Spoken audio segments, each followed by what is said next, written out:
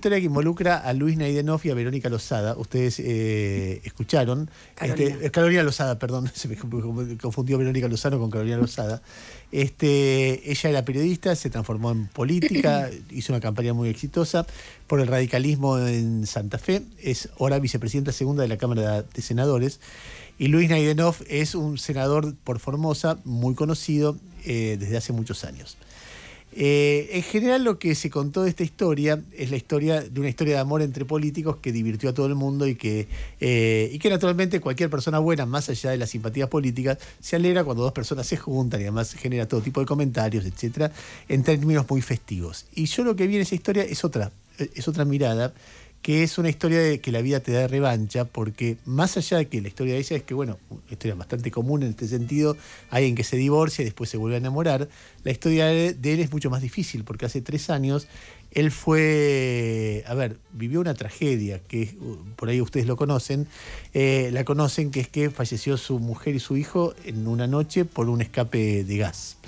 Eh, y ver que una persona se reconstruye después de una cosa así y empieza a apostar de nuevo, te hacía, te genera como mucha, mucha ilusión y muchas preguntas respecto de cómo se logra semejante cosa.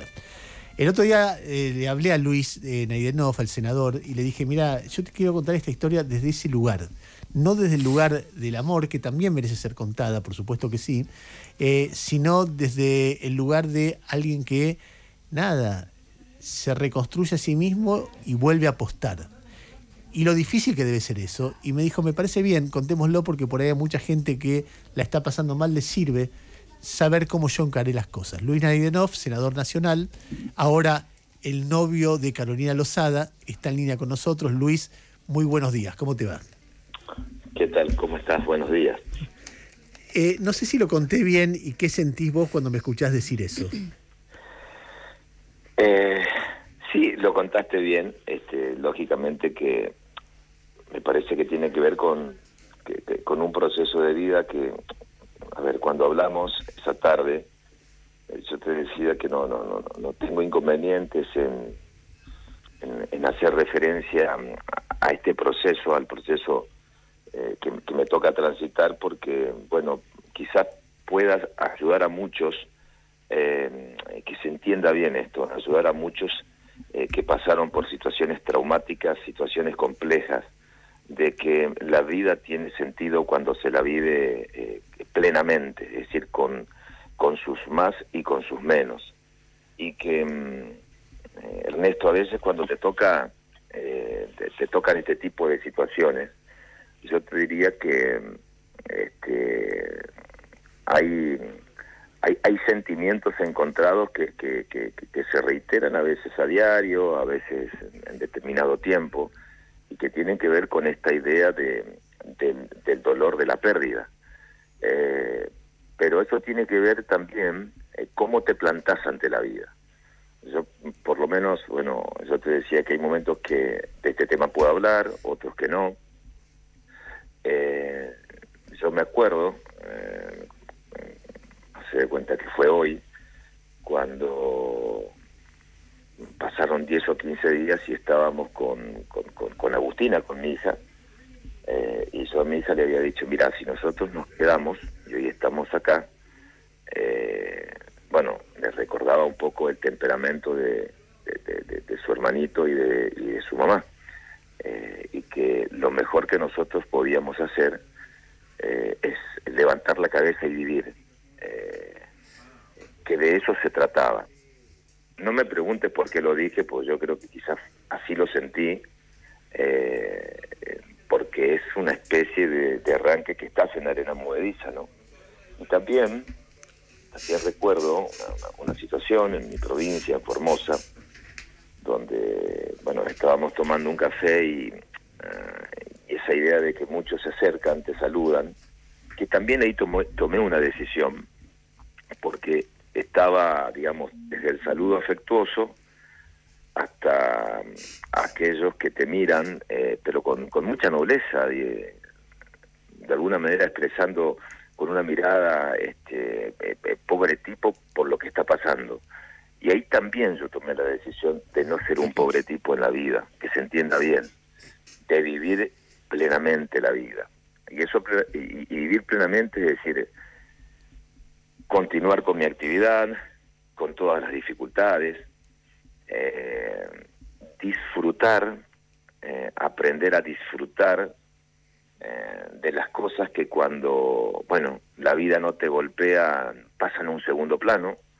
Desde compartir un mate con un amigo porque pasa a un segundo plano porque porque es parte de tu rutina de vida o porque quizás en este ámbito, en la política, vivís también como en otros ámbitos de la vida planificando cada dos años, proyectando y proyectando y proyectando, y un día te levantás y te das cuenta que todo lo que podés proyectar, mirás a los costados y se te derrumbó todo. Entonces, mm, creo que, que, que, eh, la experiencia tiene que ver quizás con un con una decisión personal de arranque, la decisión personal de plantarme ante la vida y de honrar la vida. Eh, Luis, te quiero hacer dos preguntas nomás. Eh, la primera, se me ocurre que la voluntad influye mucho, la decisión que uno toma y cómo se plantea el futuro después de una tragedia así. Pero la vida no es solamente una cuestión de voluntad. Yo he pasado por duelos muchísimo menores y de noche te sobresalta o vas caminando por la calle con un dolor que te atraviesa. Este, y superarlo no es, digamos, la voluntad seguro que influye, y las decisiones que uno toma, y la mirada que uno intenta imponer. Pero después está el alma. ¿Cómo, ¿cómo conviven las dos cosas? Eh, bueno, para, para, para, que el alma se sienta, también eh, siempre, a ver, estas situaciones límites a mí me, la vida me regaló en, en, el marco del dolor eh, y me brindó eh, la oportunidad de conocer a personas eh, que se entregaron plenamente desde lo humano que, que jamás me hubiese imaginado.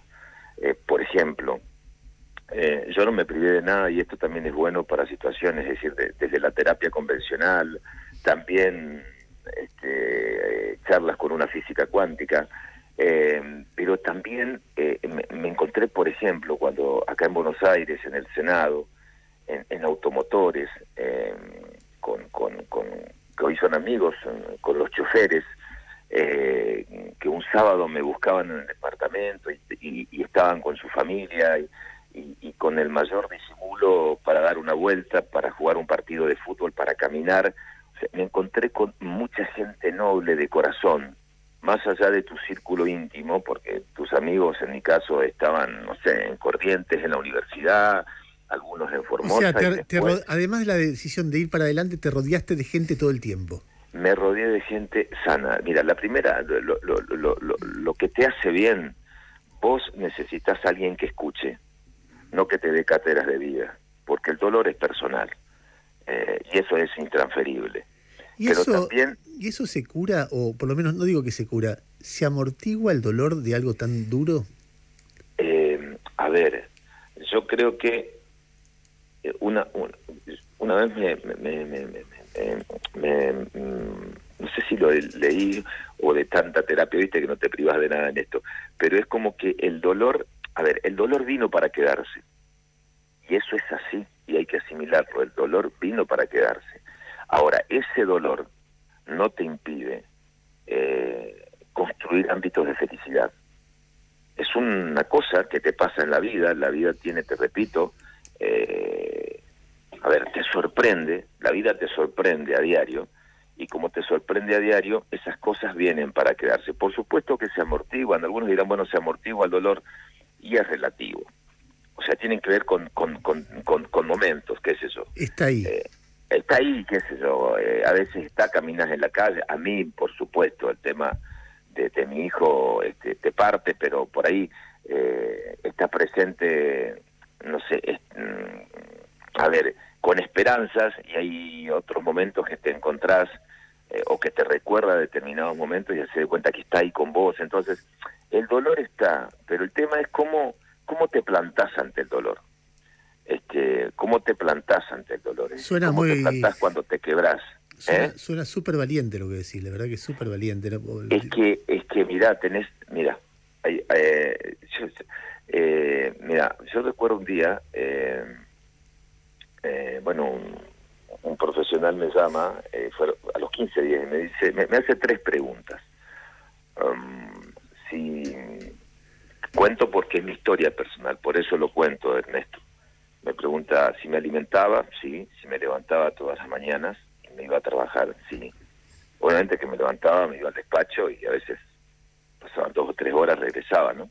Eh, y si alguna vez pensé en, alguna situación eh, compleja en cuanto a mi vida. O sea, suicidarte. Exactamente. Y yo lo miré y no, no, no, jamás se me pasó por la cabeza. Pero con el tiempo también me di cuenta de la importancia de rodearse de tipos nobles, de buena gente. A ver, eh, esa buena gente tiene que ver con con los que sienten eh, el abrazo sincero, el compartir.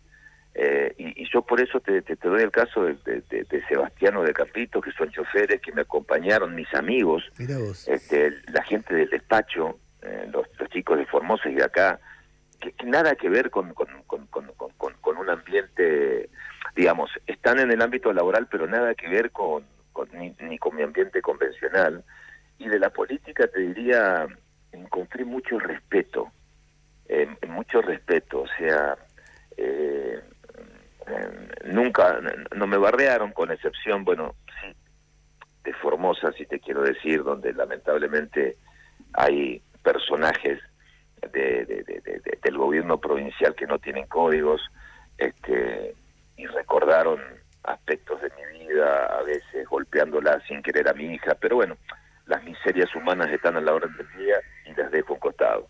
Pero eh, te quiero decir, yo, yo, yo me quedo con eso. Entonces, mm, después de todo este quilombo, este torbellino de pandemia, eh, que a muchos con los encierros les llevó puestos familiares, eh, yo lo que te puedo decir es que siempre es bueno rodearse de afectos sinceros.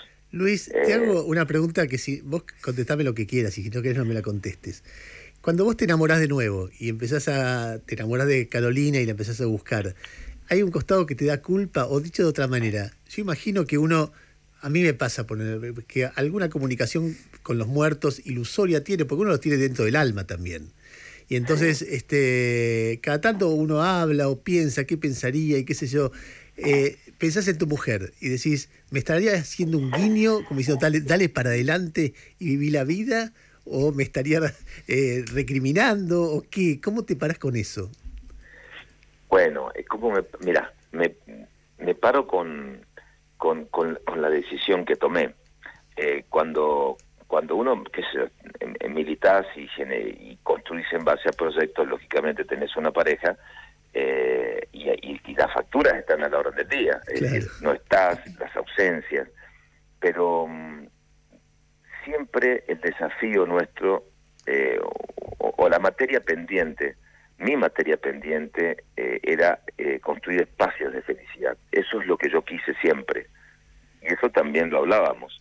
Entonces yo no tengo culpa por eso, porque no, no podés vivir con culpa cuando te cuando la vida te sorprende este porque además no tiene sentido.